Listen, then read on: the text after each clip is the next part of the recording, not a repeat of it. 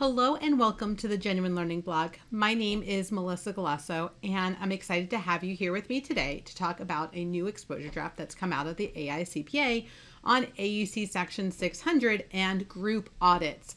I have to say, when group audits first came out, um, it didn't get a lot of attention. And then as we got closer to implementing AUC Section 600 in 2012, we started to notice that there were actually some pretty big changes in there. Uh, and so I taught a lot of classes on group audits and worked on work papers and things like that to capture the information. Um, and as a result of some changes in peer review, but also convergence, right? The ICES are working on a similar project here we are um, going to have a new proposal for group audits. Um, so this proposed SAS was issued on March uh, 23rd of 2022, and comments are due June 21st of 2022. Uh, and the ASB, as I said, has been monitoring the projects of both the IAASB and the PCAOB. So both, you know, sort of a, a, key area of focus.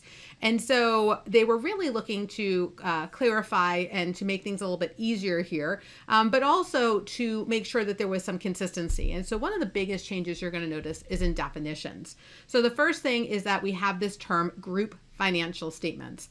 Um, and these are financial statements that include financial information of more than one entity or business unit through, and here's the term, consolidation process. But that doesn't necessarily mean full on consolidation. Um, it could be consolidation, it could be proportionate consolidation, it could be an equity method of accounting, it could be combined financial statements or aggregation of, u- of branches or divisions. So, very consistent with what the extant standard looks at here. It's not just parent sub relationships, it's not just about component auditors, as we're going to see. Um, it's really about aggregation risk.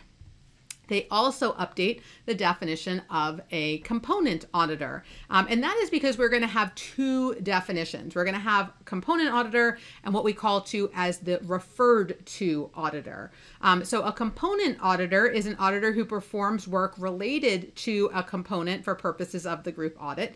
Um, and they are part of the engagement team. So they are doing work um, and they are part of the engagement team we're going to have a new term called the referred to auditor. And this is one that's performing an audit on a component but we're going to make reference to it. And so as a result, they're not going to be a component auditor anymore because they're not part of the engagement team. So in AUC section 600 currently, we call both the referred to auditor and the component auditor component auditors. Um, and so now we're going to um, talk about again here, the current concept of referred to auditor is actually within the definition of a component auditor where we were making reference in AUC section 600. Um, um, so we're going to uh, differentiate. We're also going to replace the term group engagement team. Um, and I think that's a really important uh, consideration here. And we're just going to have this term group auditor, who is the engagement partner and members of the engagement team that are not the component auditors. Um, and so in this scenario, the group auditor is responsible for establishing the plan and strategy, directing and supervising any component auditors and their work, and evaluating conclusions. Because again, these are the, uh, the component auditors that we're sort of pulling in and treating as part of our team, right? We're not making reference to them. And so they clarify that when you're doing a group audit, all of the AUC sections still apply. So you still have to do risk assessment, you still have to go through this. And they include a subsection in each section that kind of talks about when there is a component auditor, because again, you don't have to have a component auditor to be a group audit. You have to have multiple components they can be audited all by the same auditor. But when you do have a component auditor, then for scalability purposes, they call attention to that separate instead of mixing it in, right? So for scalability purposes, you can just skip this if there is no component auditor. But probably the biggest change in this standard is related to a more of a risk based approach. In the extant standard, they kind of give you size and whether it's a major component, and then if you have to do an audit versus what your alternatives are. Uh, and so instead of doing the identification of these significant auditors and having to audit those components, they instead say do a risk assessment what are the risks? And then be responsive to that risk in the group financial statements. So instead of having to uh, look at these components separately you really look at a more holistic approach to getting sufficient appropriate evidence and then you perform the response for that group financial statement.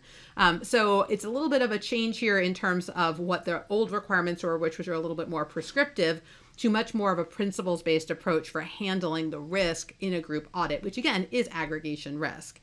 So this standard is again out for comment, so we won't have responses again until June. Uh, and so the the theory here is when they do issue it, we'd have a little bit of time before we adopt. And so the proposed effective date is for group financial statements uh, audits for periods ending on or after December 15, 2026. So again, that sounds like it's a long way away, but we know time flies when we're having fun.